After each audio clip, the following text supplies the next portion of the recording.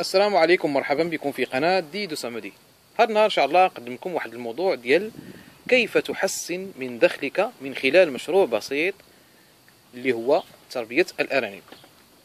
إذا آه، تربية الأرانب آه، مشروع آه، مربح جدا جدا.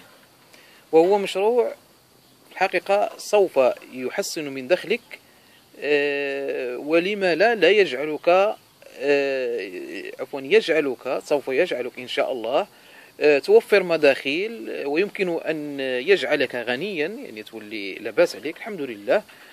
وذلك بالصبر والمثابرة وحسن التصرف وكذلك الكتمان. قاعد النقط هذه مهمة ومهمة في مشروع الأنانيب إذا كما قلنا الصبر والمثابره يعني خاص واحد ما يستسلم آه، يخدم نظافة ينقي يبحث على آه، كل شيء الحوايج اللي يعني اللي ممكن يكونوا آه، خاصين يكون ملم بالمشروع ديال الانانيب وكذلك الكتمان. الكتمان ضروري في قطاع ديال تربيه الانانيب لأن الانانيب كيبغيو الكتمان. فممكن خلال آه، ثلاث سنوات أن تكتسب خبرة آه، تجعلك ميسور الحال ولما لا لا يمكن أن تورث هذه الحرفة أنا كنسميها حرفة في الحقيقة وصنعة تورثها الأولاد ديالك إن شاء الله. أيضا تربية الأنانيب هو مشروع عالي الربح. يعني إذا تم بإدارة إدارته بالشكل الصحيح آه، وبخطوات بسيطة. نتكلموا على هاد الخطوات أنا حاول ندونها لكم في في في نقط. نتكلموا على هاد الخطوات. اولا تربية الأرانب تحتاج إلى رأس مال صغير. ماشي؟ ما كتحتاجش شي رأس مال يعني كبير. يعني ممكن أن أي واحد مثلا يبدأ مشروع بواحد جوج إناث و و آه، ذكر واحد. هذه على الأقل ممكن تكون عنده غير أنثى وحدة وذكر واحد. ممكن أنه يطور المشروع ويدير أربعة إناث وذكر واحد. أربعة إناث وذكر واحد واحد راه ماشي شي حاجة غالية بزاف. ممكن أنكم ديروا غير أنثى وذكر وتصبروا حتى يولدوا ويعطيكم خلفات وهذوك من هذوك الخلفات تكسبوا منهم. وهانتم يعني غاديين بالمشروع آه، مزيان. ثانيا آه، أن المشروع لا يحتاج إلى مكان واسع. ممكن أن أي واحد يكون عنده شي سطيحة صغيرة أو كاين الناس اللي دايروهم معاهم في البيت كاع. يعني خص غير النظافة يعني باش ما تعطيش ديك الريحة. آه، أما إذا كان عندكم شي سطيح يعني سطيح ولو غير متر في متر ممكن أنكم ديروا فيه تربية الأرانب. يعني ما كيحتاج المساحه ثالثا هناك العديد من المربون آه، من يستفيدون من اللحوم لغرض آه، شخصي. يعني كيديروا يعني كيجيبوا الأرانب باش يبقى يولدوا لهم يولدوا لهم وياكلوا منهم. صافي هذا الشيء حتى هذا الشيء راه في الحقيقة ممكن أنك ما تبقاش تشري اللحوم. صافي راه غادي يولي هذاك الفلوس اللي كنتي كتشري بها إما الدواجن أو الماشية أو اللحم من عند الجزار ولا اللحم من السوق ممكن أن ما تبقاوش تشريوها وهانتم بديتوا كتوفروا يعني آه، بطريقة غير مباشرة. توفير بطريقة غير مباشرة.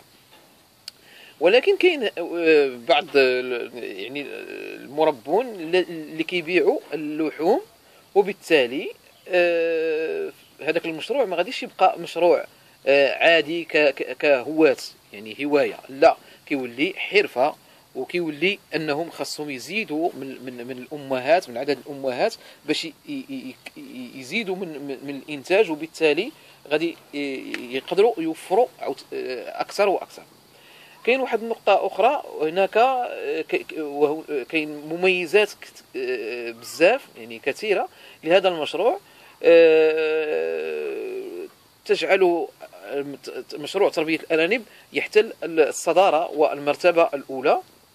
لأن آه، هو كي كيتفوق على هذا المشروع هذا كيتفوق على باقي القطاعات كالدواجن والمواشي آه، فتربيه الأرانب ممكن أن تنتج يعني هذه معلومة من 35 آه، الولاده يعني آه، من 35 حتى 40 مولود في السنة لكل أنثى يعني ممكن أنثى وحدة آه، تولد لك في السنة يعني على مدار السنة ممكن تولد لك 35 إلى 40 مولود. تخيل يكون عندك واحد العشرة الإناث ولا ولا أربعة الإناث خمسة الإناث. تخيل هذا الشيء هذا العدد ضربوا عاوتاني في واحد الربعة ولا في خمسة ولا حتى في عشرة. يعني هذه بالنسبة للأنثى الواحدة كتولد 35 حتى 40 مولود في العام. كاين آه، أيضا هناك أن الأرانب لها القدرة على الحمل والرضاعة في نفس الوقت حيث آه، يعود آه، رحم الأنثى إلى طبيعته خلال يوم واحد بعد الولادة فقط. وبالتالي يمكن الحمل مرة أخرى أثناء الرضاعة رضاعة الصغار.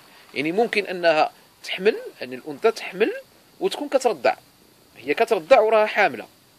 ومنين تولد ممكن عاوتاني تتزاوج عاود في نفس اليوم. وهكذا دواليك يعني آه، تخيلوا يعني المشروع اذا كان غادي مزيان تخيلوا المردود ديال اللي غادي اللي غادي تعطيكم وديال والإنتاج والربح إن شاء الله. كاين نقطة أخرى أنه ممكن للأم أن ترضع صغارها دون أن تشكل أي عبء على المربي. آه، وهذا يعود عليه بالنفع لأن المربي ما كيخسرش العلف خلال المدة اللي كتكون هي كترضع فيهم. يعني آه، إذا كانت هي كترضع يعني ديك الصغار قبل الفطام كتكون هي آه، كترضعهم يعني المربي في هذه الفترة هذه ما كيصرف حتى ريال تخيلوا أن المربي ما كيصرفش لمدة شهر. إن هي كتكون كترضعهم ولو أنهم بداو كيكبروا أنت ممكن أنك ما تعطيهم لا علف ولا والو. ولو كياكلوا شي علف كياكلوا علف قليل. ماشي بحال يعني الأرنب ملي كيكون بالغ. يعني ملي كيكونوا صغارين فترة الرضاعة راه ممكن أنه يوصل لك مثلا 850 غرام وهو باقي ما كي ما كي عاد كيرضع من امه يعني أنت غتخلى غير في الأم. والأم مسكينة راها حاملة وعاد كترضع. يعني تخيلوا هذه التربية ديال الأرانب يعني سبحان الله عاطيها لنا الله. يعني سبحان الله. والمدة ديال ديال ديال الرضاعة اللي, اللي كترضعها الأم راه ممكن توصل حتى لخمسة أسابيع. يعني هو المربي مرتاح ما كيصرفش كاع.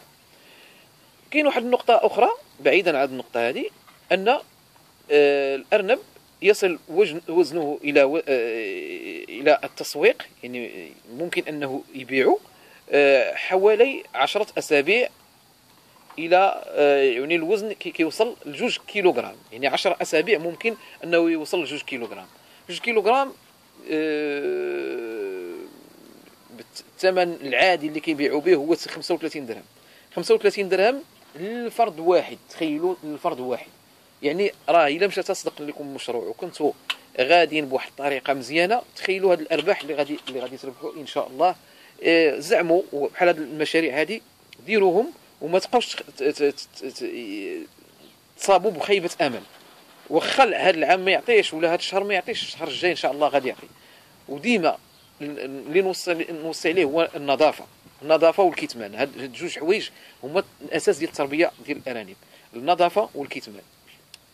آه كاين نقطة أخرى آه وهي أن آه تنتج الأرانب ما تنتجه الماشية وذلك بحوالي خمس أضعاف. يعني هذا الشيء اللي كتنتجو الأرانب ممكن أنه يكون خمس أضعاف الانتاج ديال الماشية. يعني الماشية راه هي راه مربحة ولكن المهم آه، الأرانب ماشي غير مربحة راه خمسة أضعاف راه شيء خيالي في الحقيقة. كاين نقطة أخرى وهي سهولة التعامل مع الأرانب رغم الخبرة القليلة. واخا يكون ما أنت ما عندكش الخبرة كاع. جيب ارانب حطهم وتسنى ربي غادي غادي غادي هما غادي يتزاوجوا هما غادي يديروا كلش هما غادي يعطوك الإنتاج. ما عليك أنت غير توكلهم وصافي ما, ما غادي دير حتى شي حاجة. آه، نقطة أخرى وهي الأمراض اللي كتصيب. الأرانب معروفة وقليلة بخلاف الدواجن. لأن الدواجن حتى هي راه فيها مشاكل أخرى يعني شي حاجة اللي كتقل الكاهل ديال ديال ديال المربي ديال الدواجن أما الأرانب راه معروفة يعني الأمراض ديالهم راه معروفين وباينين وممكن أنكم ديروا لهم تحصينات موسمية باش كديروا الوقاية من هذه الأمراض. وصافي أنتم خدامين إن شاء الله. كاين نقطة أخرى وهي اللحوم. تتميز يتميز لحم الأرانب بارتفاع نسبة البروتين حيث يصل إلى 20% أه ونسبة عالية من الأملاح مع نسبة قليلة من دهون الكوليسترول. لذلك فهي صالحة لكبار السن والمرضى وكذلك الصغار. صغار السن اللي, كيكونوا كيقراو مزيان لهم اللحوم ديال الأرانب. أما بالنسبة للمرضى مزيان لهم اللحوم الأرانب. ما كيشكلش عليهم شي خطر. وزيادة على الكبار في السن الناس اللي عندهم الزهايمر. الزهايمر وهو واحد المرض كيصيب كبار السن آه، غالبا كيصيب كبار السن وهو النسيان. كيبقاو ينساو مساكن. الله يحسن العون. كيبقاو ينساو ولكن هاد اللحوم هادي راها يعني آه، دراسات كثيرة هضرت على هذا الموضوع هذا ديال لحم الأرانب والزهايمر.